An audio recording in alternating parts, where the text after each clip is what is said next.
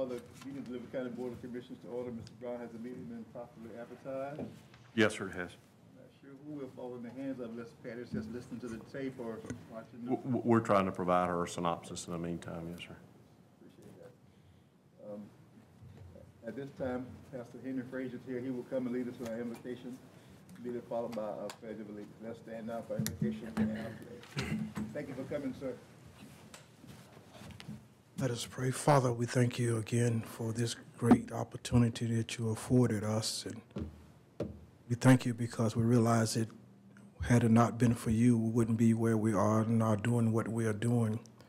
But because of your kindness, your mercy, and your grace towards us, that you extended our days and our moments and allowed us to be a part of another day, another month that you have provided for us, protected us, and you guided us. Now, God, we pray again over these your servants that have been elected to be in the position that they are in. We pray, oh God, that you will give them the direction, give them the inspiration, give them the wisdom that are necessary to move us forward once again. Bless us today. In Jesus' name we pray. Amen. Amen.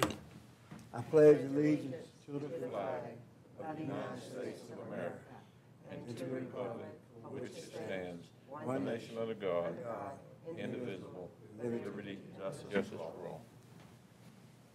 Pastor Frazier.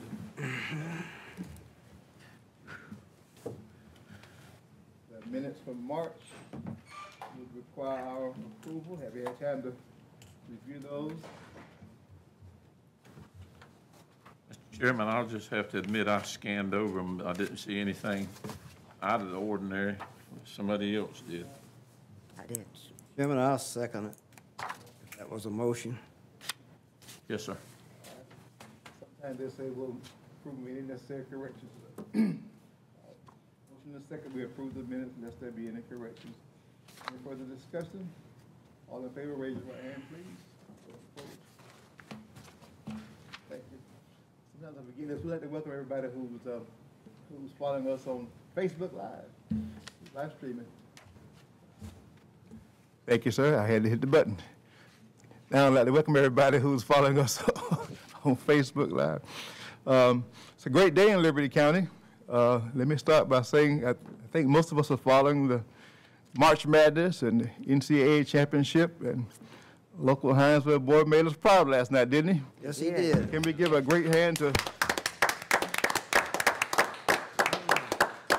number 45, Davion Mitchell? We shall all be wearing green and gold in here today for Baylor.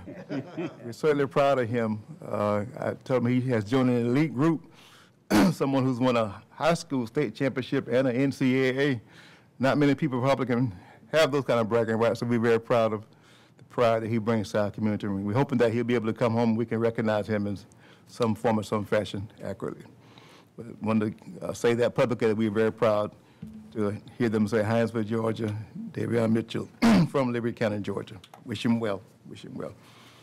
Now, um, Mr. Brown tells me that we have a proclamation this, this evening, telecommunication week, telecommunicators week, excuse me.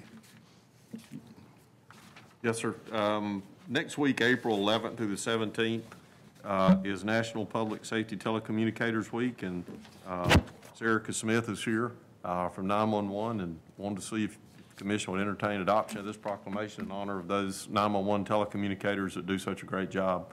For all that Erica does for us, yes, we will. Come on down, Ms. Erica. And, Mr. Chairman, if you allow me to, I'll read the proclamation. Is that your support team you have there with you? No, no support, they're working. Wait wait a minute now. Ms. Erica, is that the support team? Uh, All, everyone's. Great answer. Proclamation for National Public Safety Telecommunicators Week, April 11th through the 17th, 2021. Whereas emergencies can occur at any time that require police, fire, or emergency medical services. And whereas when an emergency occurs, the prompt response of police officers, firefighters, and paramedics is critical to the protection of life and preservation of property. And whereas the safety of our police officers and firefighters is dependent upon the quality and accuracy of information obtained from citizens who telephone the Liberty County Emergency Communications Center. And whereas public safety telecommunicators are the first and most critical contact our citizens have with emergency services. And whereas public safety telecommunicators are the single vital link for our police officers and firefighters by monitoring their activities by radio, providing them information, and ensuring their safety. And whereas public safety telecommunicators of, the, of Liberty County have contributed substantially to the apprehension of criminals, suppression of fires, and treatment of patients. And whereas each dispatcher has exhibited compassion, understanding, and professionalism during the performance of their job in the past year.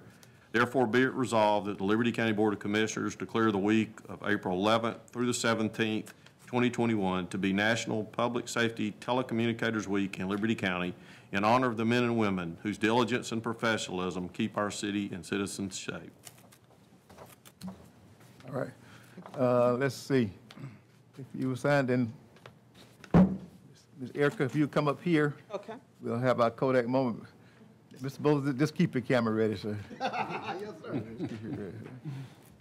Commissioners, will you all come in, please? so we- Mr. Chairman, do we need to adopt that? You can't move. We ca- we can't move the adopter. Yeah, Make Chair. a motion, we uh, adopt the resolution as read and scribed. Is there a second to adopt the- the resolution? Motion is second. Any further discussion? All in favor, sign up. Raise your right hand, please. All right. Where, come right, here. come on in. Y'all- Y'all in?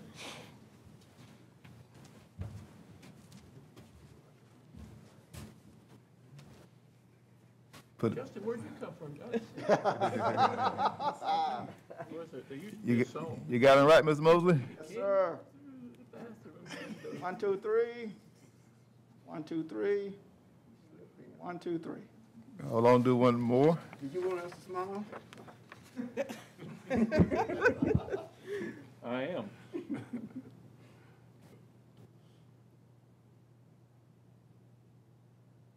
All right. Thank you.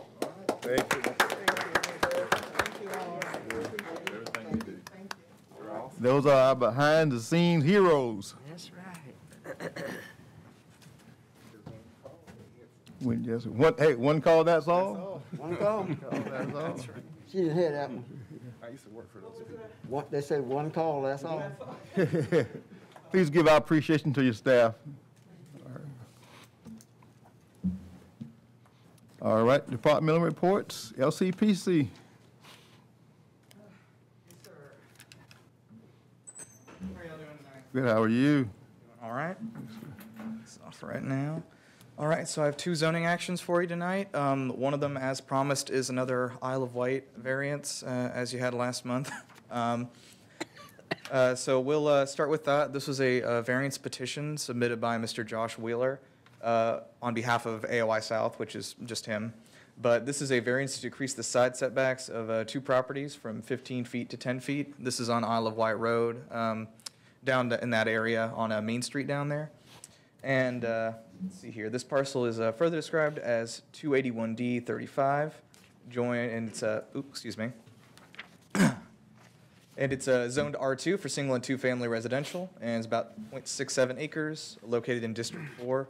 Uh, Just a quick refresher, I'll, I'll actually bring it up on the map. So here's our sign and legal ad. So we're in this area again, as we mentioned last time, there are a lot of these lots here that are just 60 feet long instead of the regular, you know, 80 feet that would be uh, mandated by this zoning R2. Um, And as we said last month, you know, we, we did some investigating, so, you know, when we do uh, come with- forward to you with our uh, Unified Development Ordinance later this year, um, that'll, you know, hopefully rectify this problem. That'll decrease the side setbacks for these lots to- down to 10 feet on each side. So hopefully these won't keep coming back into you. Okay. Uh, So here's a closer up look. Like I said, there's these two lots here, each of them 60 feet across. Um, So there's, uh, the marsh is right here. As I said, this is a Main Street on the Isle of Wight area, uh, zoned R2, like all the lots around it. Um, This area around here is zoned DM1, the Dunes and Marshes zoning. It's just marshland. So uh, basically, these are the conditions for granting the variance. Uh, Like I said, each of these lots has a width of 60 feet. It should be 80 feet according to the zoning R2. Uh, So there is an exceptional, these are exceptional lots. Uh, The application of the appendix to this piece of property would create an unnecessary hardship. Uh, No, uh, you know, a single-family home could conceivably be constructed with these 15-foot setbacks, but it would only be about 30 feet wide. Uh, While it's possible, we find that that would be limiting to the single-family intended use of this property. Uh, Such conditions are peculiar. Uh, They are not, as I said, there are many, many lots um, around this area that are suffering from the same issue. Relief, if granted, would not cause substantial detriment to the public good or impair the purposes and intent of the ordinance. Um, We said it would not. So just a quick summary again. Parcels are zoned R2, which requires a setback of 15 feet on each side. This parcel is only about 60 feet wide, so it leaves only 30 feet of room to build. Uh, These, this is limiting in the construction of a single-family site-built home, which is one of the permitted uses of the R2 zoning district. So our recommendation is approval with standard conditions for this variance. All right. Uh, Let's see, which part of uh, District Four? Yes, sir. You, Commissioner Jones? Yes, sir. All right. And They gave us fair warning that this would be coming before us. Yes, sir. You may recall the previous discussion about some of these lots are just narrow from there. Uh-huh. And then when they were drawn out, so anybody that wants to build is go- is going to run into this until such time as the unified, Unified Development Ordinance, yes, sir. We're, out we're there. making one for the whole, you know, county to kind of get our, our, on the same page with all the other jurisdictions here. all right, But all right. So, Okay, we'll Mr. hear from you, sir. Mr. Chairman, please, I would, uh, I make a motion that we move forward with the, uh, zoning variance as, uh, suggested, recommended by the LCPC. Okay, is there a second? Second. Motion and a second that we uh, follow the recommendation of the LCPC for this particular petitioner. Um, Any further discussion? Uh, I guess I need to ask just for, just for the sake of consistency, was there any opposition? Uh, we actually did have one gentleman come in. Um, he is the, uh, owner of this marsh area down here. Wow. Um, he, uh, he seemed to disagree with the, uh, uh, reas- variance, but didn't really, wasn't able to give us a reason why. Yeah, Um, he, uh, I, I don't, I don't want to put words in his mouth. um, I he understand. said, But, yeah, he's the owner of this marsh land down here. He doesn't own any, any of the property, the livable property, I suppose, yeah. out here. You bought marshland. Okay. Well, I guess he bought property that contains the marshland. Usually what happens, they buy like a big spread of property, Mm-hmm. and generally it has the marsh, so I mean, I stuck understand. with it all. Right, but, but, I- I'm, I'm, never mind. Yeah. You know, yeah, you're right, Will. Uh, I did not hear from anybody except Okay, him, though. all right, okay, all right, just- just had to ask, all right. All in favor of- of uh, recommend- the uh, motion that's on the floor, let it know by raising your right hand, please. Any opposed? All right. Thank you, sir. And I have one more variance for you. This is a submitted by uh, TR Long Engineering on behalf of Mindy Morales, the owner, for a setback variance on her property at 239 Isle of Wight. This is the uh, dock supply right off uh, Isle of Wight Road, right when you turn up off of 84. I'll show you on the map here, but um, it's Zone B2 right now, and it requires a rear setback of 30 feet. Uh, She's asking that this distance be reduced to 20 feet. This parcel is six acres, more or less, and described as parcel 242B26, located in District 1. So again, our, uh, this is the dock supply right here, and our legal ad. So as I said, you're coming down 84. Uh, If you're going, you know, away from Hinesville, take a left up on Isle of Wight, and it's basically the first thing on your right here, uh, the dock supply company. So zoom in a little bit. Uh, I'll try to clarify. So there's two things going on here. One, this building that exists right here already is currently 20 feet from the rear setback line, so it's actually already uh, too close. It's, it's 10 feet too close to the rear setback line. Um, Ms. Morale is wanting to put down a second building right here. Uh, It's quite large, and the only way to fit it in at this point would be to just scoot it back to that 20 feet line so that it doesn't uh, kill this live oak tree right here. It's a 30-inch live oak. So, uh, as I said, it's Zone B2 for commercial use. Uh, Here is our narrative. Setback variance is requested for 239 Isle of Wight Road on behalf of Mindy Morale. Existing site is partially developed lot with several existing structures. The proposed site will consist of one new storage facility with required parking improvements. The site is Zone B2 for commercial, which requires a rear setback of 30 feet. A variance is being requested for the new building to be placed within the rear yard setback line. The proposed building needs to be set back 10 feet in order to save a 30-inch live oak tree. Additionally, the building's rear wall will be closely in line with an existing structure. Uh, Basically what, uh, I guess to I want to show you a little bit closer on this map here. So this is a, you know, a site plan here. As I said, this is about 20 feet right here, should be 30, according to the zoning. Uh, They're asking to put this building down with the same 20-foot setback, and basically the variance is asking to decrease the rear setback line of the whole property from 30 to 20 feet. Okay. And I don't know if that was me. I don't know who that was. Um, Let's see here. So as far as our variance conditions, there are extraordinary and exceptional conditions pertaining to this piece of property? No. The application of the appendix to this piece of property would create an unnecessary hardship? Yes, uh, if following the setbacks outlined by the ordinance, this 30-inch live oak tree would need to be cut down to place the building. Such conditions are peculiar to this piece of property. Relief, if granted, would not cause substantial detriment to the public good. Uh, There's currently a non-conforming building, like we said, on the property that's 20 feet from the rear property line, and Ms. Morale wishes to place another mini storage building in the rear of the property. But if it were placed 30 feet from the rear, of course, like I said, the tree would need to be cut down. Uh, Staff recommendation is approval for this variance based on basically just like saving the tree. Um, And I believe uh, Brandon is here if you have any questions uh, for Brandon. TR Long Engineering about this project. And If you have any questions for me first. Any opposition? Uh, Chairman, We've had no calls either way about this. Okay. Mr. Chair. Got a question. Yes, sir. On that, other- go back to that, that first, Zoomed out one, or? that right there, I think it is, yeah. Sir? You said that one's already 20 feet? Yes, sir, that's a pre-existing nonconformity. It's 10 feet too close to the rear setback line as it is. Was that something that we approved, or it was just put there? Um, uh, Jeff, do you want to talk about that? Because we had, I think, I think the zoning was already in place when the building got put there. I think that was a mistake. It was, it was a, it was an oversight by by the building department at the time. So this is another one of those issues, do it and don't get caught. I, I- I can't, I can't say that happened, but it happened. Right, I'm just saying.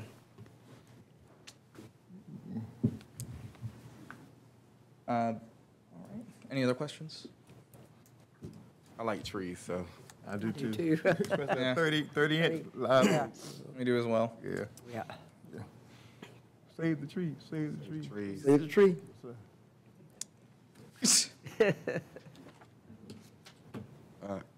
What you need? Ready for motion to your district, is a District One.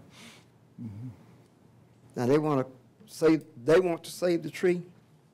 That's what they told me. I want to make sure. Yeah, yes, sir. The, the tree's right here on Right on the there. diagram, yeah. Um, actually, I don't know if, if, uh, Rusal wants to come up and talk, if y'all Yeah, are okay with them- that. And then wh- while he's walking up, I'm good if because one of them has a twenty. one's already there. Another one, if we put it at thirty, won't they be offset? the? Yeah, be offset, Would. yeah. Yeah. And you so- lose the tree. And we lose a tree. So, I mean, I, I guess if Commissioner So- Stevens wants you to come up. Yeah. Yes, sir. Uh, Brandon Purcell, TR Long Engineering. Uh, Yeah, the idea is to save the tree. Okay, Uh, But uh, the tree island's cut out, there'll be concrete parking around it, but there'll be a conforming to standard size to save the tree. okay. All right, well, And I I will say this, Commissioner Stevens, uh, while I do agree, sh- sh- save as many trees as you can, but secondarily, the other building's already, already there. And I, I- that's why I just asked, Already there, was it so- something that we approved, or was it just put there? yeah. I mean, I believe in them making it uniform, but, yeah. Mm-hmm. So if we can save the tree and grant them the, For- For uniformity, yes, that ten foot, that's the word. What you're trying to say is you don't want to go there in six weeks and find a tree down and the building up. There you go. Okay. I thought that's what you, You got it. Entertain a motion, sir. Chairman, I make a motion that we follow the recommendation of LCPC. To, to save the tree. Is there a Save second? the tree. Is there a second? Second. Second, that we follow recommendations of LCPC uh, to save the tree and for uniformity when it comes to the building that's already, already there too. All right. Any further discussion? All in favor, raise your right hand, please. All right. Tree is saved. Thank you, commissioners, for saving that tree. Thank Well, thank you.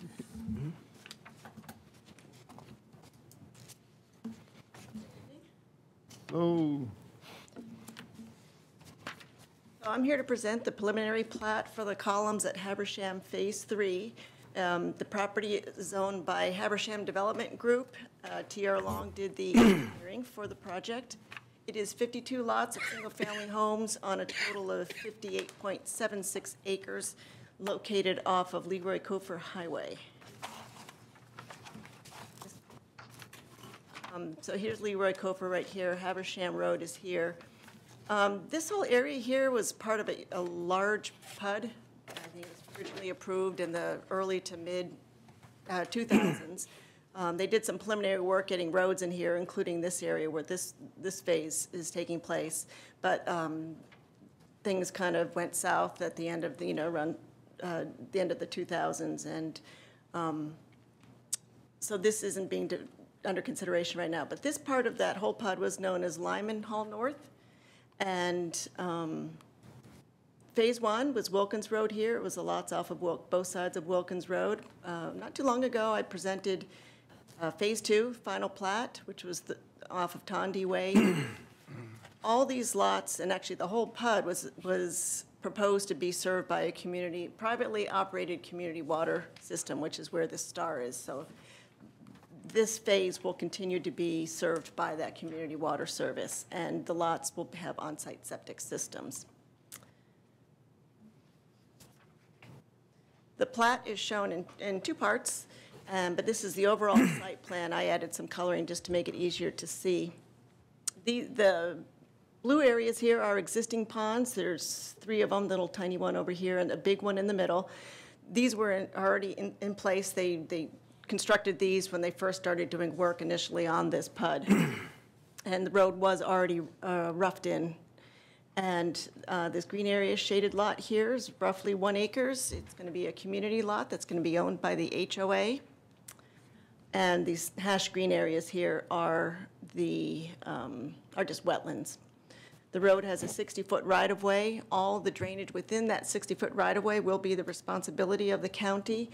The drainage for the ponds is going to be the responsibility of the HOA or the property owners, because you can see their lots actually go into the pond. There's a drainage easement around it, so um, the- this county would not be responsible for maintaining the pond, either pond. Um, And this red line here is kind of the division line between the two sheets of the preliminary plat. So The first sheet here, there again, the big pond in the middle, the smaller one on the side, these lots around it, and then you continue on. Um, Oh, before I continue on, there is, hard to see, but there is this red line here. That red line is basically right here. So this area right here, just so you don't get confused, is actually shown on both sheets of the plat. And then here's the remainder of the lots for this uh, phase, Phase Three, and the community lot right here. The lot standards are the same for the other phases. The minimum usable lot size is 7,000 square feet, which is .16 acres, and the lots range in size from half acre to just about one and a quarter acre. The county health department likes to see at least a half acre lot if you're going to have an on-site septic system. Uh, The front side and rear setbacks are 35, 15, and 25 feet respectively. As I mentioned, they'll be served by uh, on-site septic systems and that privately operated community water system. The ponds and the drainage facilities outside of the right-of-way are not the responsibility of the, the county. And there will be a note on the final plat that dictates that it will be the HOA or the property owner that is responsible. This was something that was put in place for Phase Two as well, so all the deeds to the Phase Two lots also have that same language saying that the county's not responsible. And that new road loops around, it's 1.128 uh, miles, and that is being dedicated to the county. Once that has been satisfactorily completed, then it will go for final acceptance by the county. This was before the Planning Commission in March, and they recommended approval with standard and special conditions of the preliminary plat for the colonies at Habersham Phase Three. Our standard, the special condition is that prior to consideration of the final plat um, by the Board of Commissioners, that they, documentation be submitted from the Department of Health indicating that the development has been approved for on-site septic systems and for individual wells or serviced by a privately operated community waters.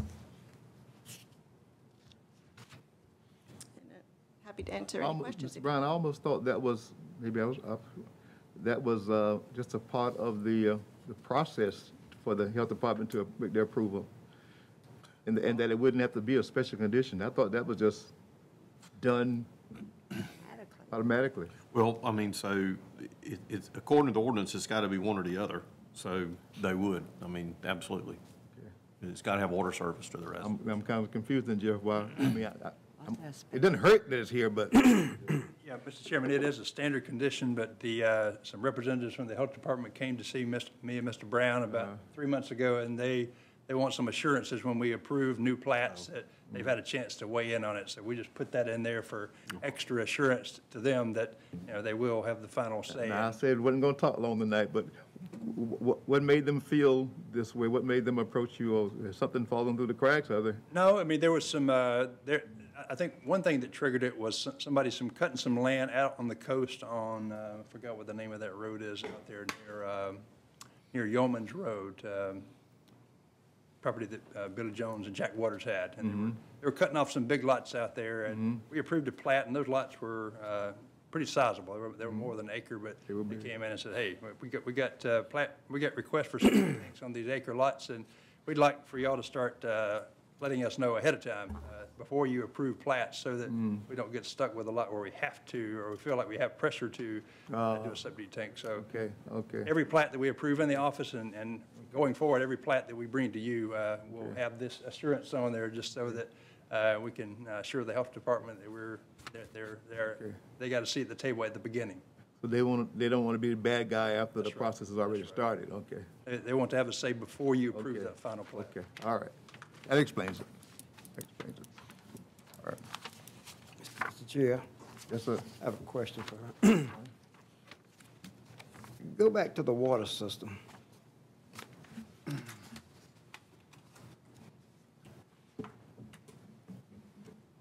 There.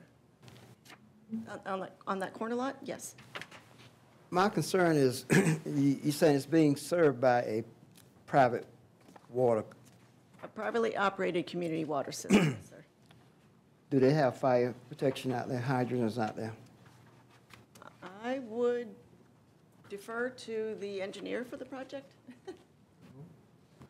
Hey, good evening. I'm not the engineer, I'm the applicant, but I've been, I did the previous phase, so. um, So part of what was installed back when they started the development, the road's already been cut in, and the, the water line is actually already laid all the way around that road, including fire hydrants. What size of a, is it eight inch or? Eight-inch water main, yes, sir. Eight inch water line? Yes, sir. Okay. And what size of pump, what size of pump you got pushing it? That I don't know. But, but, but I do, I do know that it is, the, the original well was designed for the overall development.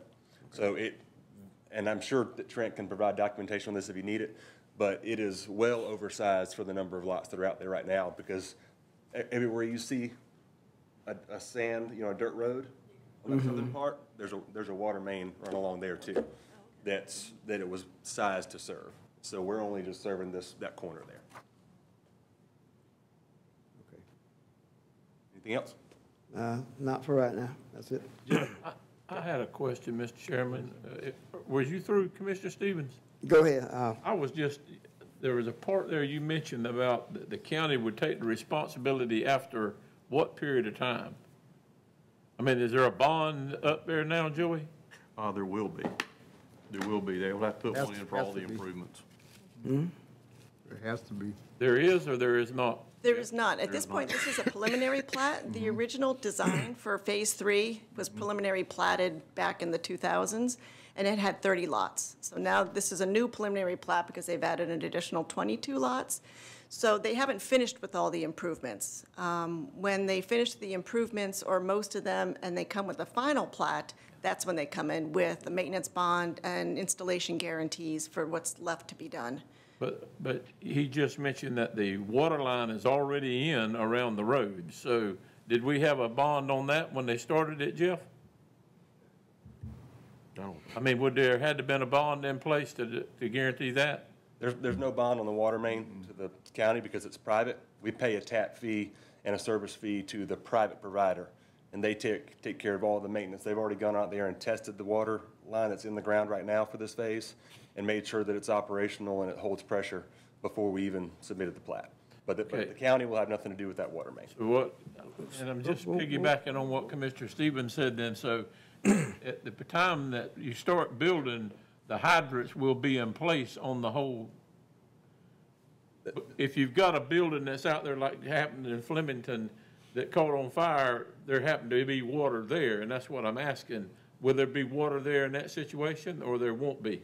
Yes, sir, the water is there now. If you go out there right now, there are the, the eight-inch main and the hydrants and the, the actual service lines to the individual houses are already in the ground. They were put there years ago. And we've had those checked by the private water company to make sure they're operational. Okay, and that'll still, at what time will that be turned over to the county? It will not. Okay, it'll always be, It's pr- to- Totally privately owned. okay, and then you mentioned, uh, the roads would be deeded to the county at what particular time, or ditches, what is this? The, the road will be deeded to the county at the time of final plat, after it's been paved and ins- inspected and signed off on by Paul Zeckman and Trent Long. Okay, And what, and we'll post the standard, I forget if it's a one or two-year bond. There's a warranty maintenance bond on that road that we'll, that we'll have to post before you allow us to record the plat. well, I know, and of course, um, in, in the city, you have, you know, it's maintained by the city, all their roadside ditches and whatever's gotta be done, so now, you know, it's, the burden is gonna be left up to our folks, Joey? Once we accept it. Mm-hmm. Right. Once we accept it, but even when we accept it, that bond will stay in place for that period of time to make sure that, I know, but I'm just saying, once they're gone and the houses is full, then that's gonna be us looking after it from Yes, sir. now on. yes, sir. That's Which is a general fund type issue, right? Mm-hmm. That's standard. Yeah. Mm-hmm. Well, I'm just saying, where we, where do we have them at now that there's open ditches though? Right. There are open ditches here? Yes, sir. Okay, that's what I'm saying. I mean, we've got some areas that's got curb and gutter that's not that much of a maintenance mm-hmm. issue.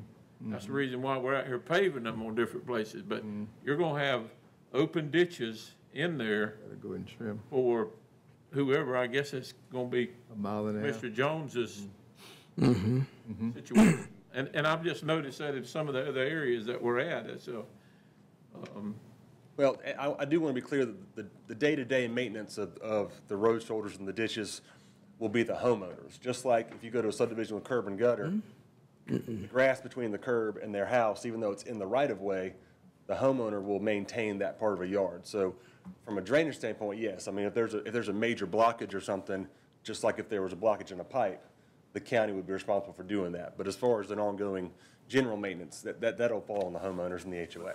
So, but it'll, but it'll be ours. It'll- well, I mean, and, and and that's. I, I know that's nothing that we won't, we're gonna ever get away from, but, you know, we, um, we're still, I believe that's the same number of employees is out there, so I just want Right. us to remember that when we start with our budget this year, that that's, um, you know, I'm all for the growth as much as anybody, but you try to look at some of these things ahead of time, and, uh, that's all that I'm trying to say is we, uh, need to make sure that, you know, that we've got the, the folks out there, when we accept it, you know, they're, they're, they're gonna be on the digest, but you're still gonna have a lot of people out there. That's a pretty good sized subdivision, from what I've seen, the whole thing. Well, the original, uh, the original one was probably eight, nine hundred lots, but that was on, Right. based on a lot of different factors. This one, this one here is, is gonna be fifty-two lots. But it's, it's migrating on further east, right? I mean, those roads are still in. Well, there's no further land to the east. All, everything that you see to the south there is owned by somebody else entirely. I, that, I don't have anything to do with that, so it, it may get developed one day, but, but I don't have any control over that. Okay. What's your name again, sir? I'm Charles Way, I'm Habersham Development Group. Good to meet you, sir. Nice to meet you, thank you for your time. Mr. Mr. Chair, Yes, sir. just got, just clarification. I heard you say that the water system will never be turned over. It will re- remain private. Yes, sir. Okay, what about in the event that we do have a fire situation out there? Um, Will Liberty County Fire Service have access to the water system then? Yes, they're, they're standard hydrants. They're just like any other hydrant that's put in the county. So they're, they don't need any kind of special access or anything like that. Um, and I, I believe that's a state law that all private water systems have to allow public emergency services to use them for Okay, fire protection. all right. Since you're the developer, right? Yes, sir. What's the pressure uh, on your fire hydrants? Uh, I do not know that. I'd have to ask the, the water company that did the test. Could you provide that to Mr. Brown? We certainly, I think we'll be required to prior to the final plat being approved. I, I just, we, we just want to see if it's Yes, sir. going to meet what we need for the county fire service. Because when you bring a fire engine out there, I'll let, uh, he's, this is the engineer. It was designed for fire flow. The whole system is, so it'll meet it. Um, when provide that information to Mr. Joey, okay, that won't be a problem. okay, all right, okay, all right. All right, You don't make no mistake about it. We, we're pro-growth one hundred percent. Right. We. We wanna do it right. All of us sitting up here have seen some stuff slide through, and we, that's one thing we want to try to make sure it don't happen. Yes, sir, and, and I wasn't trying to argue, I was just trying to be, be specific, so. We, you can go straight across the road over there, and, and I don't know whose district that is, and it's, we've got issues there now. Don't send uh, him over there. Do what? Don't send him. okay, Yeah. All right, sir. yep. District, District One, right? Or District? Four. Oh, my- back to you now. That's right, that's right. Uh, Mr. Chairman, further questioning. Um, when we discussed this, uh, development at our last meeting, um, we asked a bunch of questions, some of the other, uh, commissioners also about the stormwater, ponds, and all of those issues. Um, I'm sort of apprehensive about asking questions now because I piggybacked on one of the other commissioners' last meeting and sort of got my head tore off when I brought up my line of questioning. But, um, I will, I'd like to know, do we, um, know who the private water company is as of now? Who are they? Reputable, It's, it's, it's water utility management. They're based out of Savannah. They're probably the second largest private water provider in mm-hmm. the Savannah area. They do business here now in Liberty County. All right, I asked that question because we, as the county, we don't have any oversight mm. over private companies. Mm-hmm. This is be by the state. Mm-hmm. Um, The reason I ask, because I'm familiar with the uh, water utilities management guys, and we have having some issues with them at the present, uh, another development or community that they service.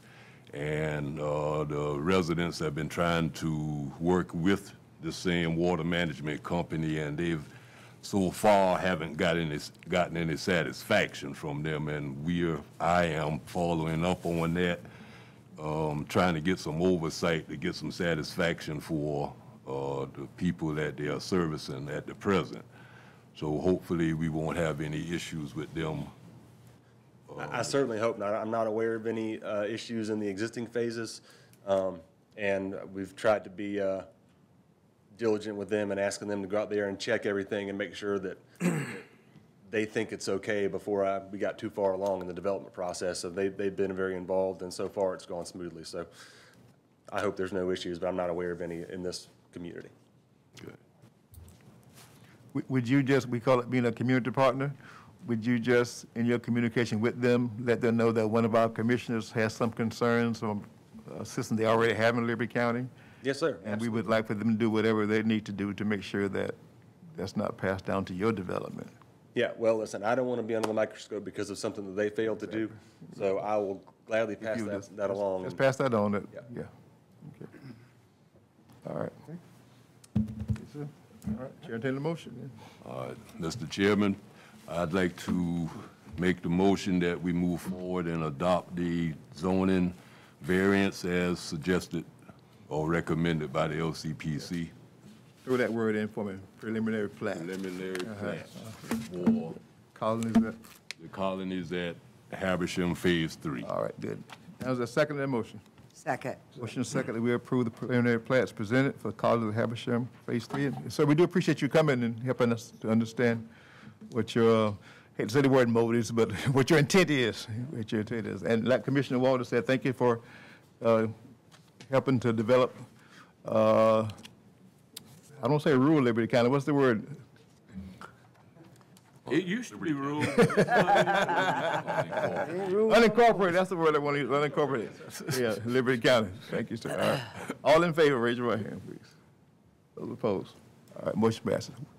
Wish you well, sir. We take tours and we look around. All right.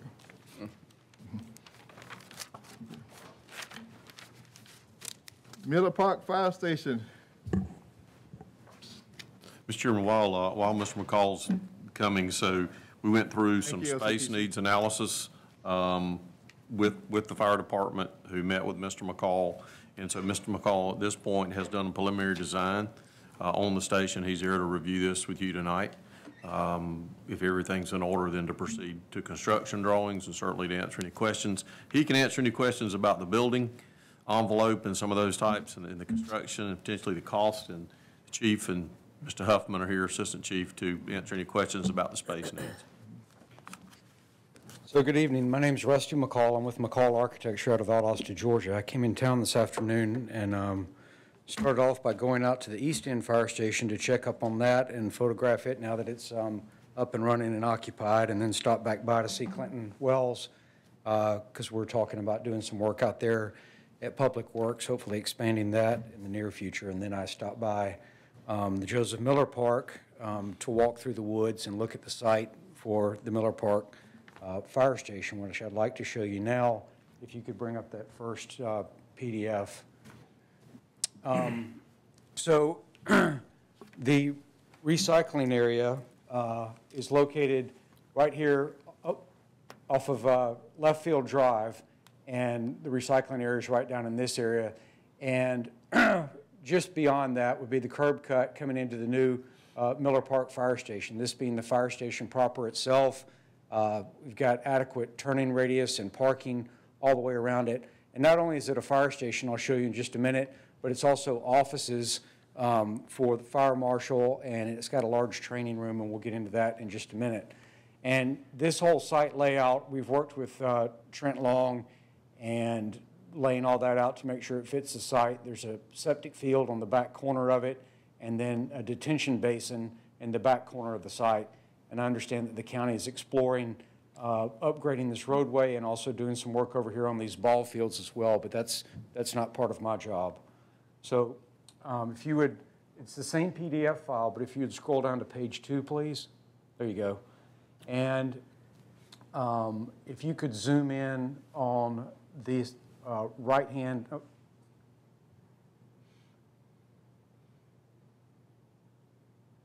you could uh, maybe zoom in on the right-hand half of this. You could use that marquee zoom that I showed you about, and we'll look at the ground floor uh, just quickly. And I know um, that you would like to get home, but I, I figure it's your money, so you want to see what you're going to be spending it on.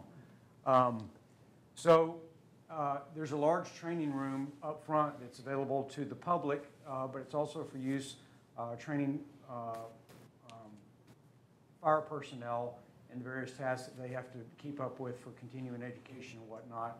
There are restrooms that are accessible after hours um, to that training room as well. We've got um, reception, uh, fire chief, deputy fire chief, and then back in this corner is where the fire marshal is, plan review area and whatnot. If you could pan down, please. There you go. Um, we have three pull-through uh, bays, so that'll be six apparatus that can fit in those bays, and then two back-end bays. So you can put a total of eight uh, fire truck apparatus in this station. Um, there is a turnout room with all of their uh, gear. There is what's called a scuba, uh, self-contained breathing apparatus room where they re refill tanks and whatnot. Um, we've got a decontamination room. Uh, we've got a maintenance room where they work on things and whatnot. There's ample storage. And then there's also a facility for um, uh, physical training, or gym, if you will. Um, let's go uh, pan to the right. This is the second floor. So up above the apparatus bay is where um, all the personnel live. Um, there is, uh, I guess you'd call that a, a TV room and whatnot, uh, dining room, kitchen, storage. All of these rooms around the perimeter are uh, two bunk bedrooms. There's 12 of them, so uh, ultimately you could hold, you could, you could sleep 24 personnel, 24 firefighters there at any one time. Uh, I don't think it's going to ramp up to that immediately, but it could in the future. Um, Men's and women's restrooms, showers uh, to support all of that. Um, And then there's also uh, captain, assistant captain and whatnot, all those offices and whatnot up there as well. Um, Let's, if you could pan down now, and then maybe zoom in on just that photograph to where it oc- occupies the entire screen.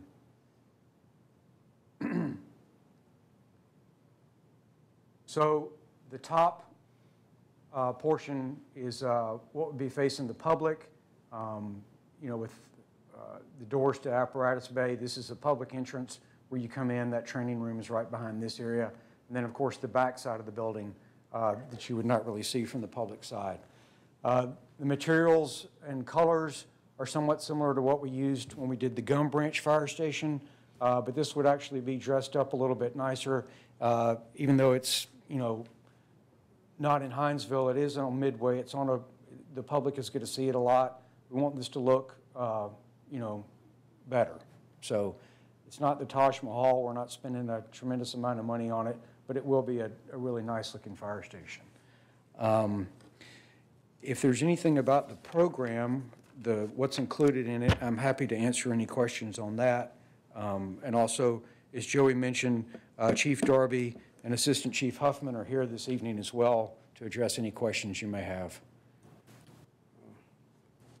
Yes, sir. Would you back up to the, the first layout showing the driveway? Yes. It'd be that page one of the same file.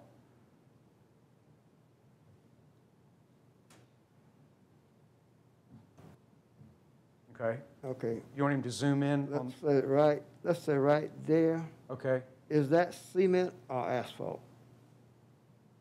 That is um, asphalt, and the reason why, there's a, there's actually a mixture of materials on this job site, and it's for cost reasons.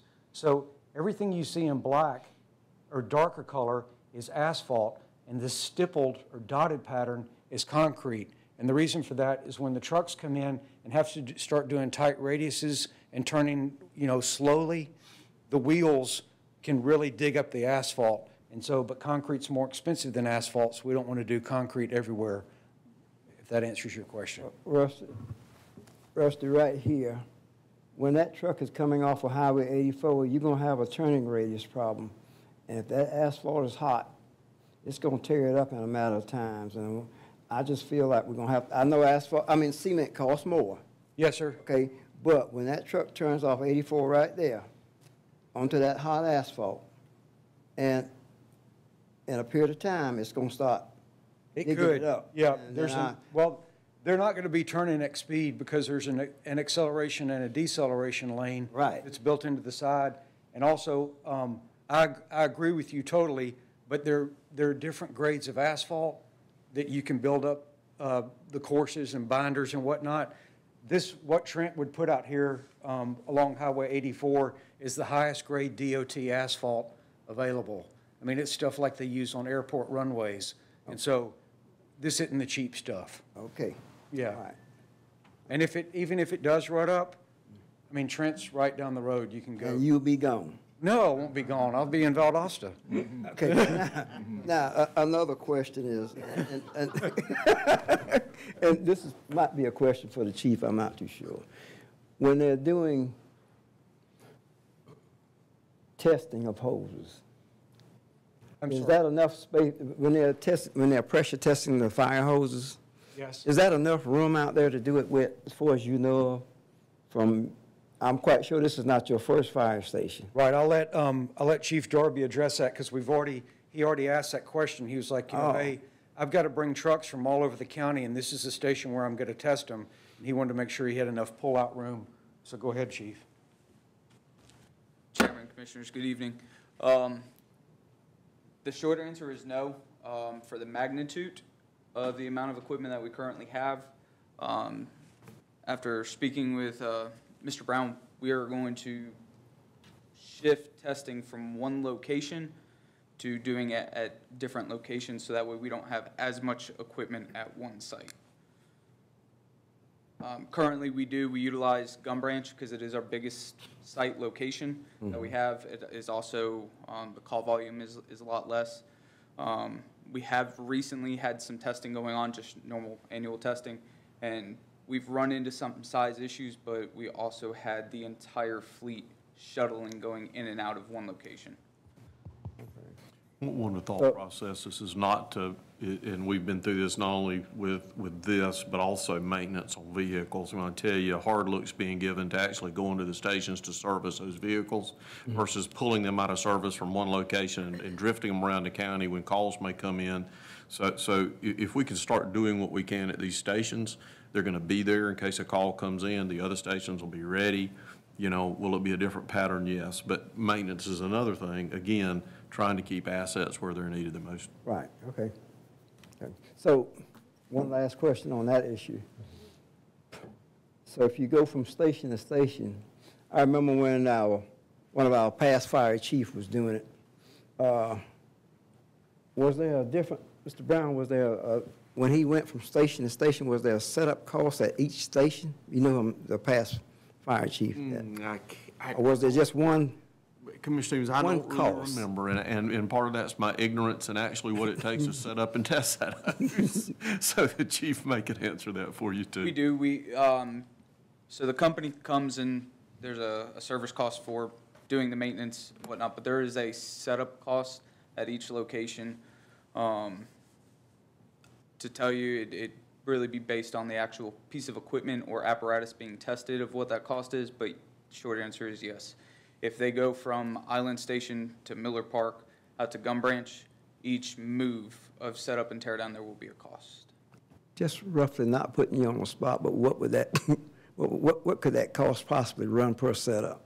Uh, Honestly, I'm gonna have to divert to Deputy Chief Huffman. He does a lot of that, that- that's fallen inside of the operational realm. Good evening. Um, I know for the, when we do pump service testing, they bring in a large trailer, they fill up with water, and they have to drain that in order to leave, to move from site to site, and they charge five hundred dollars to pick up and move. Because we'd actually been reaching out to some of the other local departments, trying to find other sites where we could combine it with multiple departments to help cut some of that cost down. The People that do the hose testing, uh, Commissioner Thrift probably saw some of it out there at the I station did. the last couple of weeks. Um, They don't charge as much to pick up and move, but they have to have at least two hundred feet straight away in a line to test the hose. And honestly, Miller Park will have a much better water system since it's gonna be hooked into actual hydrants and water mains as opposed Right. to what we have in Gum Branch Okay. to facilitate all of the testing. I know that's not what we'll probably end up doing, but as far as cost goes, I know it's five hundred dollars for the pump service testing. The hose testing company, I couldn't tell you specifically, but I do know they will charge you every time they move to a new, new location. Okay, all right, okay. So- So is your, is your, I'm trying to follow. So is the concern the amount of space we would have here for the testing? Is that the concern, Commissioner Stevens? I was just, I was just questioning that, that's, that issue, yeah, and that, that is an issue. I mean, it's not an issue, it's just something that I'm familiar with on Yeah. a, a little bit, being out there in the fire service. Mr. Chairman, I had a question concerning when Mr. McCall was giving the overview. Um, Is, is fire services going to move out there? It said chief's office. and Most of all those on the bottom floor were offices. Yeah, So- the you know, the, the, the temporary location for them has always been up here at the EMA office, but absolutely, there'll be, that's what had been anticipated all along. They would relocate administrative staff to this station. This will be the main station. Okay, all right. Be the true headquarters. Yes, sir, it will be. Headquarters on the east end. Mm-hmm. Yeah. As long as you get to the west end in time, that's all that matters. I don't have any, any knowledge much of the fire hoses. I've started a few fires and they ain't that much to put out, but now. We, we talked about this and, and, and briefly, we want to make sure this is the right spot, chief. I mean, the right place to put it. I know, I know we've got nothing from Flemington all the way to Midway. So we've all agreed that's the right spot. Commissioner Stevens has brought up the point about the drive off the road, but we've talked about it in this meeting and we've talked about it sidebar in different places. There's no turning lane out there right yet. So even when we start construction, Rusty, there's gonna be traffic in and out that road a lot. So before we get cranked up, what, you know, let's don't get the cart in front of the horse here. I mean, there's gonna be cement trucks, there's gonna be dump trucks, y'all gonna be going in and out, so what are we gonna do here about getting off the highway? Coming from the cement plant, the asphalt plant is west. So I'm just saying, we need to address that before we come off the road, Mr. Chairman. I mean, even to get off the ball field, Commissioner Stevens, and, and to go down, uh, I mean, our, our folks at the convenience centers has been doing it, but I've, I mean, it's pretty close. We've already had a couple of wrecks up the road a hundred yards, so let's, uh, I think Mm. we probably ought to address that situation. That, that's a good point, and I, kind of an engineering deal, uh, Chief, but it's, you know, I think Brandon's gone, but it's something we definitely need to address, especially with the rebuild of Miller Park that's coming. 'cause There'll be more traffic going in and out of there. I know Commissioner Stevens has said, and y'all have talked about turn lanes up and down eighty-four, but that's, mm-hmm. that's, that's really something, that's a good point. We need, we need to go, I know we were looking, focusing on this side with the acceleration, deceleration, some of that type stuff. Change the speed limits, uh, we're really wanting some caution-type lights put in, or activated lights, we've talked about that.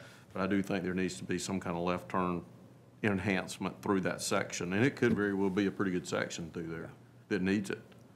All the way up to, uh, uh, Lewis Frazier, I mean, to, uh, Bill Carter. Yeah. Well, I mean, I think, you know, from listening to the fire folks and, of course, uh, Commissioner Stevens, as long as I've been a commissioner and before, I remember, I mean, he was dragging a hose or beating the fire out at nighttime and I was trying to get the power turned off. But, you know, if that's the site, I don't have a problem with the site. I mean, you can move that building, could go a lot of different places, but before we do anything, Mr. Chairman, I, I think mm-hmm. we need to really be focused on That turn. getting it off the road. I mm-hmm. mean, that's just me personally. I I don't, I don't, I don't think, the design, Rusty, I think is great, good idea. It looked to me like people can, I mean, trucks can come around and go all the way around the station and pull back through. Um, I, Stay away from the park entrance. Yes, sir. And I think you've got a ideal spot for it. You've already mentioned you may want to have meetings of other things that's out there. Um, I didn't hear nothing about an EMS area, but I know yours are, you got first responders, but, I mean, that's, that's going to possibly be, uh, something that'll happen later on. I'm, I mean, after we leave from here, but so, um, but I don't know, I think we need to address that pretty short order, I I guess that would be the DOT we had to, We will. I, I tell you what, if it's okay, Commissioner Walden, what we'll do is, um, I'll get with Mr. Long and have him do a DOT design to bring you, after we talk to him about all these concerns, to have as soon as you can get it. I mean, probably the next thirty days, that you, you, we could have a design that DOT would, would. it'll take more than thirty days for them to even come out there. Well, no, we'll, telling you. we'll design it to their standards. I mean, there, you know, we've done that, uh, I'm trying to think of the other project we just did it on. But yes, sir, I can, we can have that for you. We can have that for you. Thirty days, mark that down, Brian. I'm obligating him, I'm obligating him for thirty days, y'all remember that. Let me make myself a note. Mr. Chair. I know this is Highway 84, and it goes all the way to where I live, and um, they actually did the same thing right outside of Valdosta. Um, For a short distance, the speed limit goes down, and then right outside the curb cut, if you will, that goes onto Highway 84, there's a caution light, and I guess there's a device inside the, the fire truck or right, up- or maybe inside the station, and they hit that thing when they're rolling out, and that caution light starts blinking out on the highway, telling people something's happening. Hmm. There's Trucks are about to enter the highway. But we're All I've seeing it. seen that do is let you know that the bulb's working. Yeah, All I- we're, we're, we're, we're seeing it in, in, in a lot of locations. I mean, that traffic, the speed, and we can reduce the speed, but, but then you're gonna, you know, especially before it's operable, like Commissioner Walden said, you, the, the amount of traffic that's in and out of there is, it's a complete stop, left turn. It's not gonna be a good situation for the ball field either for people coming from this direction. So, I mean, really, I'd wanna We look need to look at the whole area. I think that's a great idea. Well, I mean, it's, it's, and like I said, Commissioner Stevens knows as much about it as anybody, but I'm just saying that we, I- and even, I mean, on one ninety-six, you do have that when they're on the right, but you'd be surprised at the amount of traffic that's coming from the Glennville area now that, uh, Mhm. you would have to deal with, so. Well, That's good- all I'm gonna say about it. A lot of, lot of traffic, uh, and a lot more regular traffic over time in and out of this station. Uh, Regular vehicle traffic. The room was uh, not only a training room, but a little accommodation you had mentioned and y'all had talked about uh, having somewhere that maybe early voting could take place or whatever later on. So that's an accommodation for some of those thoughts earlier too. So good, good point. A lot of thought into it. Chair? We, um, we actually, um, Chief Darby and Assistant Chief Huffman came up with a lot of ideas and sketches. They had their whole grocery list, you know, and gave it to me and said, this is what we want. Um, and then we knocked out a first phase, um, and then sat down and met with them and tweaked it even more. So we're at the point now, um, where, you know, if we're ready, we could go ahead and start producing construction documents, because that'll take several months um, to get those ready so that they could be advertised for bid. But it sounds like that, uh, that we need to wait 30 days, exactly 30 days. Well, no, I, I would tell you, I would. I- Well, no, I would, I, my, my thought, y'all, is that, you know, there, there's another pot we can reach into, uh, called special purpose tax, it doesn't get in your districts, uh, that could be used to do the improvements on the roadway. Uh, anything from, from curb cut out, so decel, accel, uh, thi- this deal about improving, you know, I don't want to talk to GDOT and say, look, here's what we're going to do, but I need some safety mm-hmm. funds to do this mm-hmm. in front of this ball field, so mm-hmm. I wouldn't think that would, building construction wise, there's no reason for you to hold up, if the board's comfortable, no reason for you to hold up on construction drawings because of that. That'll be a civil engineering type task. Sure, yeah, anyway. yeah. Well, I mean, the access, they can go in on left field drive and, and go down there. I mean, you got to tear down the old building first. Old building. Yes, sir, it's coming pretty shortly. And then you're gonna have to. Tree- do tree kinda clearing helped and- with that a little bit. Clearing and grubbing. Yes, sir, yes, sir. And I wanted to know about that other pot. Mr. Chairman, did you know about that other pot? Yeah. Or is this just been? Well, I was really talking about GDOT safety money, Oh. more than anything, but that's what I'm asking. You're referring to construction traffic, how we could get into the site? Yeah. Yes.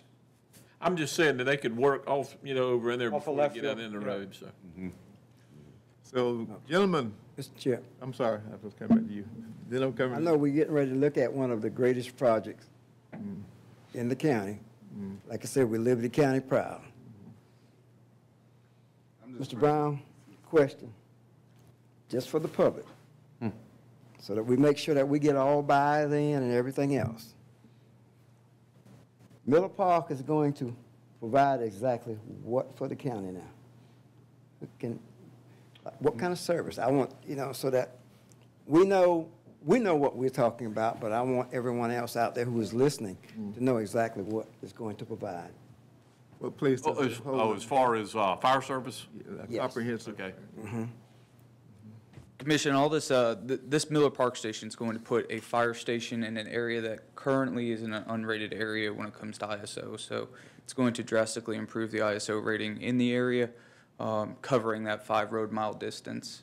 It's all part of the long work and plan that myself and um, Mr. Brown and now Deputy Chief Huffman have been working on for this fire protection plan. So it's going to bring an I, a good ISO rating as well as faster response times um, to an area that currently hasn't been getting it. I'm gonna have to, I'll step out one, one, one further for, for the audience, I guess, it's on, on the TV. So this is the commission plan. that This commission had the foresight to go out and look at, been looked at for some time. Uh, so obviously, we're following what your plan was, which was a good plan, to put a central station in, and this is that central station. How long has this plan been on the table, Mr. Brown, since what, 20, At least, at least fifteen years. 15 years? And we're at this stage now. Yes, sir.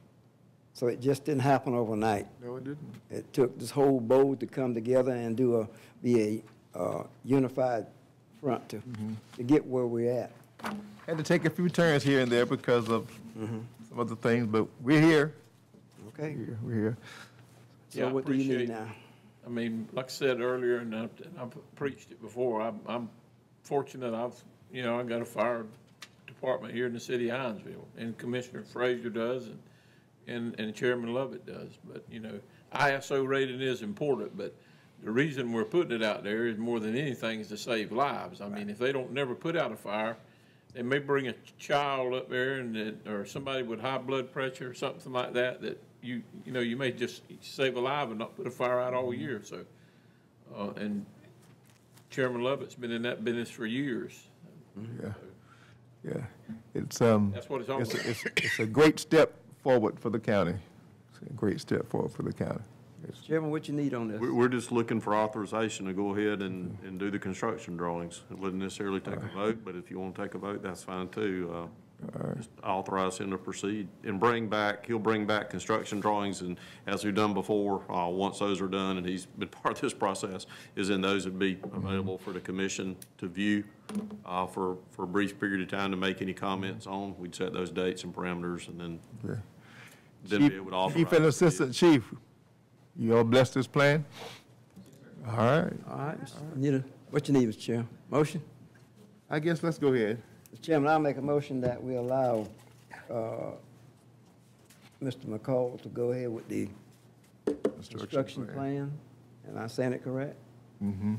Second, Mr. Chair. Motion is second that we allow Mr. McCall to move forward with the construction plans for the uh, Miller Fire Station. That's been a long time in the making, but it's here now, and we are proud that we're ready to move forward. Any further discussion? All in favor, raise your right hand, please. Those opposed? Thank you, sir. Thank you all. Great day for America.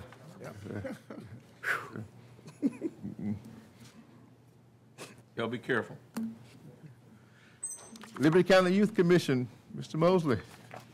Chairman, members of the board, uh, y'all investing in a fire department now, you're investing in youth in the community. Another good investment. Another good investment. Uh, The Youth Commission is facilitated by Mr. Larry Murray, who, um, I don't know if you're familiar with Mr. Murray, is he and his wife, lovely wife, are expecting a child, so we're excited for him, and it's going to be this week, I believe. Okay? Clinton? Okay, sir. Clint? Uh, At our last, um, at our last update with the Youth Commission, we hired Mr. Murray, and uh, that was back in July. And starting in uh, September, we started doing some things in terms of leadership.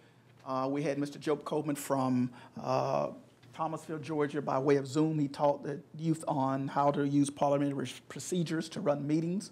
And then we had Ms. Trenesia Martin, the Deputy Director of- of Human Resources for Wake County, uh, North Carolina. She did an excellent uh, interactive workshop on soft skills. That was one of the areas that uh, Commissioner Frazier and others who had worked with the youth, and, and Commissioner Stevens had worked with the youth, saying, "And we want to work with them a little bit on the soft skills. So she did a very dynamic uh, interactive workshop.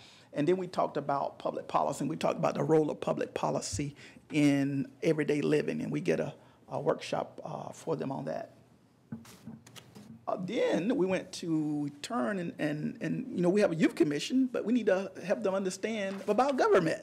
And so we, we went through a series of workshops, Zoom workshops, talking about uh, some of the things going on in county government. We had Ms. Glenda Roberts, who did a dynamic job talking about the roles and responsibilities of the assessor office. Uh, Mr. Jones came and talked about the tax commissioner and his roles and responsibilities. And then Mrs. Kim McLaughlin talked about budgeting at the county level. In January, February, we did some brainstorming and some projects that they wanted to do.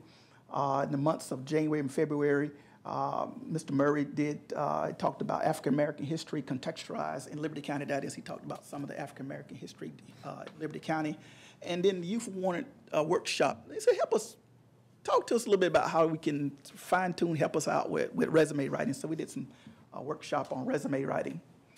And then in uh, the month of, um, of March, uh, since Mar- March is recognized as National Women's History Month, we did a virtual workshop with some of the county female department heads. Uh, Ms. Laura Troutman, she came and talked about, and we wanted not only to talk about their uh, duties and responsibilities, but about their life and how they came to become involved uh, or, or uh, be in that particular area.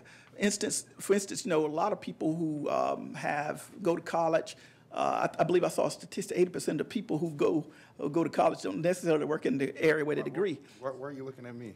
I was just saying. And so we wanted to, what, what was, what was the magnet that attracted you? And, and we had some excellent workshops. Uh, Erica came in, uh, uh, Rhonda came in, and Dr. Bell came in, and they gave some dynamic workshops. Um, Commissioner Frazier and Commissioner, uh, Chairman Lovett and, and Commissioner Stevens. Commissioner Stevens was with us all the, the whole way, and, and they really gave us some great insights, great, gave you some great insights about uh, the career decisions that they made. And so in, we decided in, in April, uh, as we were going, uh, we wanted to look at uh, small business owners and entrepreneurs for the month of April. So on the 14th, we have Mr. Reginald Pierce, uh, County Coroner, and Commissioner Marion Stevens. They're going to talk about mortuary science as a profession and what led them to go to mortuary science as a profession. On the 21st, uh, recommendation from the chairman, uh, and on the 28th, uh, Ms. Crystal Hurst of Sparrow Communications, she'll talk about public relations as a profession. And on the 28th, we have Mr. Lisa Cliff of Strategic Bid Solutions to talk about consulting as a profession. And then we have another one of our very own, Commissioner uh, Connie Thrift will come and talk to us about life as a small business owner. So we'll. Stand in the room only. we'll talk about those. In the course of also during, during uh, since July, the Youth Commission was asked to develop a video for the census, and they did that, and it was placed on um, uh, Mr.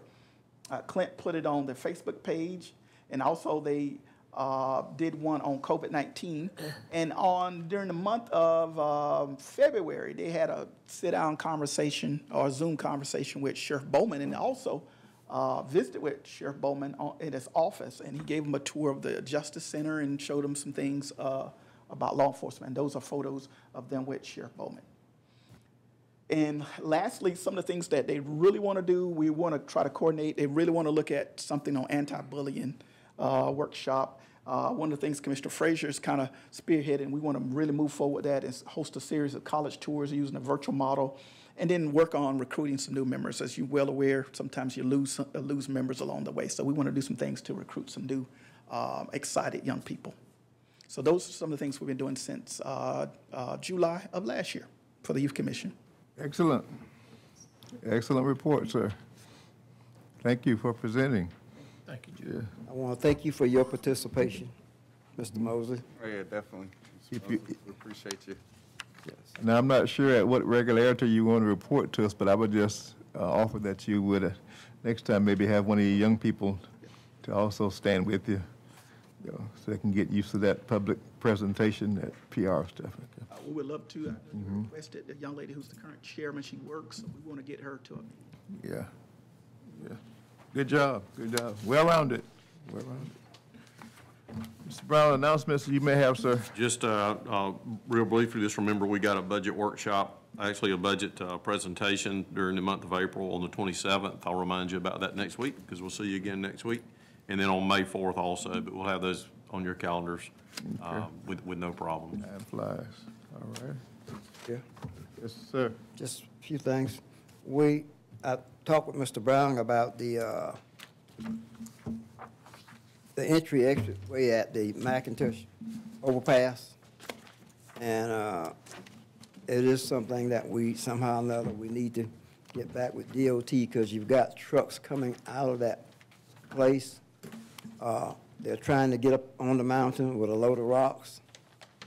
And, uh, it's defeating the purpose of the other one ninety-six being further down. You- You've got trucks turning, coming over the mountain, making a left turn. In there? Not only going to the store, Mhm. they're going to that plant. Oh, really? Right through there?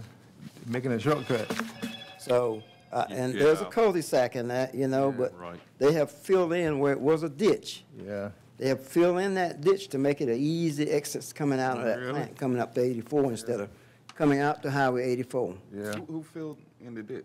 I guess somebody from that, that, that rock. Rock company. So, so, and I'll bring, a, a drawing of- is, is, is worth a million words in this instance, but basically, when GDOT got the right-of-way from the convenience center owner, who at the time was Mr. Sasser, mm-hmm. they granted him an easement Right. to come through there. So there's an, ac- there's actually an access easement off of eighty-four right there. Yeah. And so we, you can't close up that easement. close the And the easement. traffic's gonna come and go through there. Right. You know, the challenge is, what if anything regulation-wise can be done? But I, I don't know, it's like you and I were talking, I, I don't know what can be done there. And I don't, I don't know that GDOT can go back and take that easement back. I, I don't know, but that's, I'll bring the drawing. I think when you see it, it's, uh, it'll show you exactly what's happening there. They're taking advantage of it. They're taking advantage of the easement, whether they're actually using the service station and then coming out, or, or whether they're just bypassing through the service station easement and coming around, uh, which is a lot of what's occurred. Yeah. The rock plant. I- I mean, uh, I'm just not sure what regulatory authority That- we that we have to say have. you can't use that easement to come out. Yeah. But we're exploring that. That's, that's what Commissioner Stevens and I were talking about. I understand, and, and, uh, you know, we, we might not have regulatory, uh, I guess, permission or authority, but as a good neighbor policies, you know, we might just try to address it to, to them. Uh, you know, Yeah. the, the company has been mentioned. Yeah. But Because I can see it just a matter of time before somebody runs up into the back of a truck. Yeah. Trying to get up to speed. Yeah. Yeah, I mean. That's what I thought, with DOT not see it as a safety hazard. I, I understand. I don't, I, I, I I don't know. Let's, let's look at it and see. I, I- I don't, I, I, I r- I really, really, really don't think GDOT is gonna go back and close that easement. Yeah. It's Because hard. it was part, it was part of the negotiation for the land acquisition. I see. I And see. I just they're not don't, I, I haven't talked to them, and now that's what we want to. Pull it out and say, look, here, here's what the easement ca- has caused now. What do you suggest? Mm-hmm. Yeah. Since you granted the easement. Yeah, okay. And that's probably the best right, thing to do. okay. Let us know, sir. And Mr. Chairman, you said you were working on the industrial authority issue Yes, sir. down there with the roadway. Yes, sir. Working on that. Uh, And I'll probably catch up with Mr. Long when he comes back and take a look at the drawing, because it is coming out to a county road. We may not have authority. There's nothing wrong with the building. Right. It's just coming out to that county road. We as county commissioners need to make sure it's safe. Safe. Yeah, so, so I did reach out to um, Mr. Tolley and ask if, if the engineer and the firm would go ahead and at least round those turnouts, so the trucks didn't have to come straight out in the road, and they've made those improvements. I rode down there Friday, so they, they've gone ahead, they've made the turnouts. Uh, Of course, they're gonna wait and pave when they Right. mobilize one time to pave. Uh, So they've done that. Uh, They will be responsible. When they do the paving, they're gonna, they obviously will take care of the break-off that's occurred, because those pave, those, it'll extend over, it'll taper over, actually into Islands Highway there. The other thing that we're talking to them about is the future plan for the site calls for actually four outlets to that road, future plan, sometime if they ever expand. Mm-hmm. You know, a couple of things we're going back to them and saying is we really don't want to see those, mm-hmm. although there's nothing in any ordinance right now that says they couldn't do them because mm-hmm. they meet the GDOT safety requirements for distance. But we would like to see them just use two means of ingress and egress, or, or both egress, whatever they want to do. Uh, But also to take one of those roads, the farthest one towards the coast, and run it all the way into the park as a main access road, which will cause some more traffic, but it also gives that fire suppression, that five-mile radius, uh, that is real important. Because if they go around the loop and come the long way, it's outside of five miles for the industrial protection. So, uh, looking at a lot of things, but they did go ahead and make one improvements, and then the email I got actually, uh, this morning says they have relocated the signs. I expressed an interest and a concern that there there weren't enough construction mm-hmm. and progress signs going on, and so they've relocated those. And I hadn't had a chance to check those yet, uh, because they were supposedly done since Friday. Well, now, the, the other question is from where the main interest is at now to where they're establishing the new interest. Will they do anything to Islands Highway? Because the weight of those trucks, that road is already cracked. I mean, I'm not talking about the edge. Yes, sir. I'm talking about the, the, the main highway. Right. I don't think it's going to support all of those trucks between the main entrance and there. Now, will that fall back on the county, or will that go to the industrial authority? It'll fall back on the county because the county is responsible for the roads. And, and, and you don't have any impact fee, any kind of impact fees, uh, which, that's a perfect example of if you had some type of impact fees for development, and you could demonstrate that you needed improvements to a capital asset, then, then if your impact fee structure schedule covered those type of assets, which, excuse me, that you do in the study, then you could pass that on to developers, whether it was development authority or developers in the park, or subdivision developers mm-hmm. that were gonna cause a load on county infrastructure, period, be it fire protection, roads, whatever. But so the county has no mechanism right now to require developers of any kind to upgrade those roads. And we, and we hadn't done it before. Uh, but yeah, that's just kind of where we are again on the regulatory. But we, we talked about looking into the impact fees. Well, and, and you couldn't, im- you, you can't do a retroactive, obviously. um, Going You know, the forward. law requires you do a analysis, uh, really that you, really third-party contract that out analysis. You don't really, I'm not gonna say people don't do it in-house, but it's good to have a third-party analysis done. Yeah. It comes up with an impact fee schedule for you, much like Flemington did. How they did it. Um, but that wouldn't be bad to put on your plate to recommend staffing, try to engage somebody for that. Okay. And the last one I have, I've got, we've got a lot of issue with code enforcement. All right. Yeah, so you haven't lot got of one issue right with now. enforcement Um, That we need to take Yeah, a we're- look we- at. Take a look at. Uh, You have a, you you know, you had a part-time code enforcement officer who um, had to leave really to run a full business. I mean, um, because that's really where their livelihood was. We don't have one now? We don't have one. Uh, It's being advertised. I believe it closes this week, as a matter of fact, to do that. So Commissioner the, Stevens, um, um, you were correct. I guess we do have an issue over there. But, uh, we're done. I, I just have a few announcements real quick. Go ahead. If you Can, can, can I, can I, can I get a few? Go ahead, I just had a list, that's all. Uh, yeah, yeah, I see. Uh, uh, Mr. Chair and the rest of the commission, I just, uh, a few announcements. First of all, just want to congratulate the, the Chamber of Commerce for the 45 under 45 uh, luncheon that uh, was, when was that, last week, the week before? Uh, It was a great success. uh, And actually, we had, had a few of our uh, employees who work for the county who, who were acknowledged, and I just want to say thank you for, for all the- who uh, participated, who, who got acknowledged. Uh, Also, want to give a, a great big shout out to Will Richardson of, of the Oregon Ducks, who helped take his team all the way to the Sweet 16, who, who, who definitely made us Liberty County proud. And then, uh, last but not least, uh, to Davion Mitchell and, and the, the Baylor Yeah. Bears who, who brought home the championship. I just wanted to say, you know, congratulate him and, and Baylor. And of course, that's another born and raised Liberty County who, who, who, who made everyone proud, especially even in the beginning when- when they were coming out to say he's from Hinesville, Georgia. You know, helped put us on the map. So if anyone didn't know where Hinesville, Georgia was, I was last night that, that kind of helped them at least go to Google and find out exactly where we are located. We, we did Davion early on. Yeah, you must Right. have listened to what the chairman but said thank earlier. but thank Yeah, you- yeah, yeah, Thank you yeah. for bringing Yeah. Will in, because I. Yeah, absolutely. And see, and then that's what, that's what I wanted to say as well. It's more important because, you know, I I don't, I don't want people to leave Will out because, uh, if, if y'all remember, Will was very intricate for us to bring home the, the, uh, the state title. I think he went eleven from eleven from the free throw line. Yeah. In, in the state championship game. So that, that team was very dynamic, so. Stacked. Stacked, so, yeah, so Will, and, and, you know, he still has another year of eligibility, so next year, you know, we'll be rooting on Oregon. Bring it on home too, so, Thank you, sir. welcome. Anything else but good in order? Yes, sir. Yes, sir. We talked about this road, and Commissioner Stevens and I talked a little bit about it. Two years ago, Buddy Carter was doing a conference call, and he wanted to know, do we have any issues that we need to talk about in Liberty County?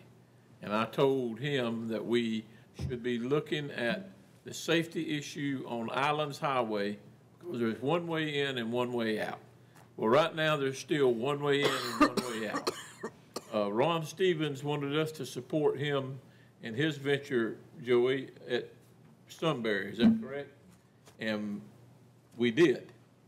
And of course, our representative, he didn't get the gambling thing, so they ought to still have plenty of money. We- We need to- a, letter from this board, Mr. Chairman, that goes to Buddy Carter to let him know the importance of what we got industrial-wise with all the money that's been spent in Bryan County off at ninety-five. What we need in this county right now is to have that road four-laned or widened or have a turn lane in it, because we can't have another situation like we had with the hurricane, the storms, and people trying to leave that one-way area out of there.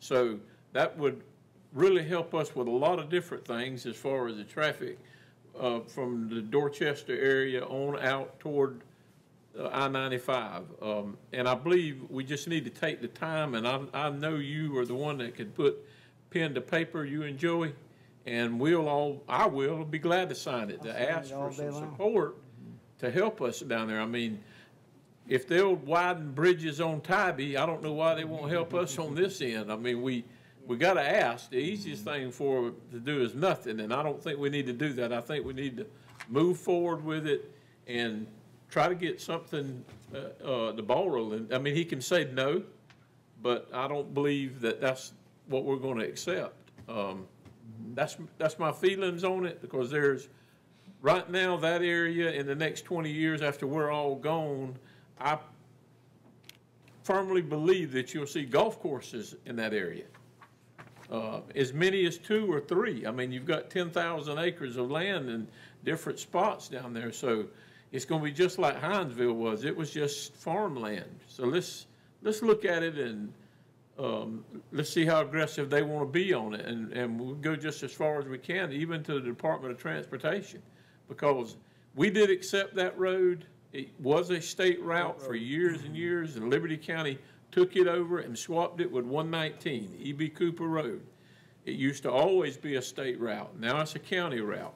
And at that particular time, there were very few people on it, but now it is just like Highway one ninety-six. I mean, we, we've got areas that need to be addressed, and I think that we're, we're sitting, um, a little bit, you know, we, we're trying to beat out fires, and we need to go ahead and just look on down the road, and I, I would just ask you to, and, um, it, yeah, I think, I think we may be able to, you know, get the ball rolling, especially with you and even the Development Authority.